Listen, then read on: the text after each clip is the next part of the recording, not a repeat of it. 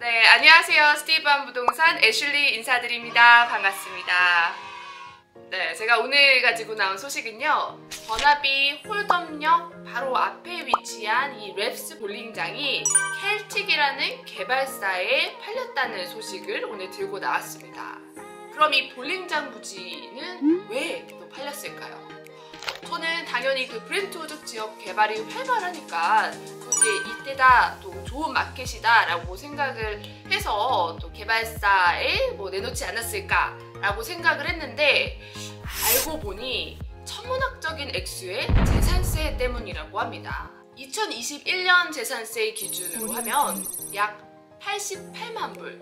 자, 지난 2022년 이후로는 코로나 때문에 특히나 더 이상은 영업이 어렵다라고 부담을 느끼던 찰나에 이 켈틱이라는 개발사가 스카이트레인역 바로 앞에 있다는 이 부지의 입지가 너무 좋아서 사들이게 됐다고 합니다.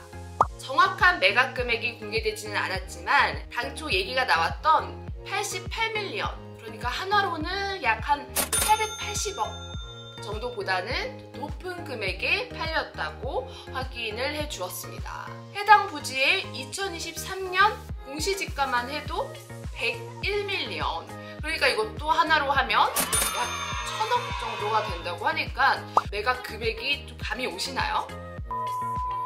아직 이 켈틱 개발사의 설계도는 초기 단계이지만 어, 35층에서 55층 사이의 고층 빌딩을 한 두세 동 정도 계획을 하고 있다고 합니다. 그래서 이미 홀덤역 바로 앞에 두 동의 high-rise 콘도가 우뚝 서 있고 그다음에 홀덤역과 브렌트우드역 사이에도 코드 개발사의 이 대단지가 들어서고 있어서 이 홀덤역 주변으로의 개발이 좀 더 활발해질 것으로 예상이 됩니다. 1962년 6월에 처음 문을 열어 또 많은 시민들이 이용하였던 이 볼링장이 철거가 되기까지는 그래도 적어도 한 1년 정도의 시간이 있다고 하니까요.